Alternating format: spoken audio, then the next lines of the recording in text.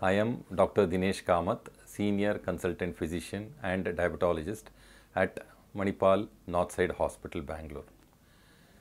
International Diabetic Federation, that is IDF, has declared 14th November as World Diabetes Day.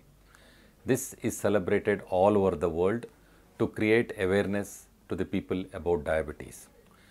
On this day, we hold a lot of seminars, exhibitions, marathon walk, and even uh, media and news uh, editions about diabetes.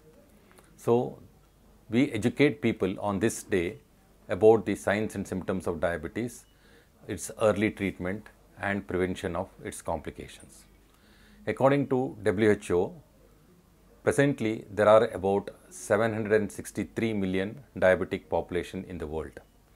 That means 1 out of 10 people are diabetic presently in the world. China remains the first highest number of diabetic population of about 116 million. India ranks second with 77 million population which is expected to increase to 101 million by the year 2030. So, this is a huge prevalence and it is going to be a burden on our healthcare economics.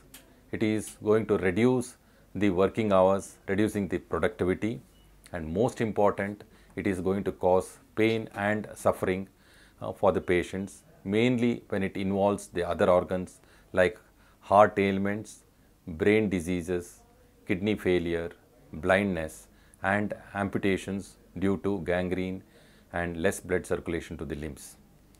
So, awareness is very important to all the people to change their lifestyle, eat healthy food, do regular exercises, cut down their weight so that we can prevent, detect this disease early and prevent the complications. Every year, World Diabetes, uh, on this World Diabetes Day, uh, the IDF has given a theme so that we can increase the awareness among our people. So, the theme for 2020 is nurses and diabetes.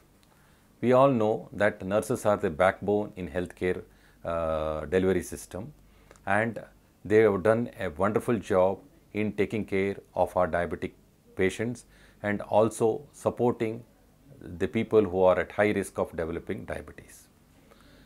Nurses form about 50 percent of the global healthcare professionals. All our diabetic people are undergoing a lot of challenges. Many of them do not know what the symptoms are. They are very confused with the different modalities of treatment.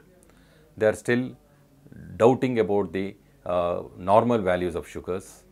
Even the complications, they are not aware between the connection between diabetes and involvement of various organs. So, the nurses being in close contact with our patient for long hours can really help in educating these patients and bringing them or facing their challenges. Nurses are important for the education, spread of education to our diabetic people. Now, WHO and IDF have requested the governments to make policies so that to train our nurses which can help for the educating the diabetic people. So, if the nurses are trained well, they will definitely make a difference for the lives of diabetic people.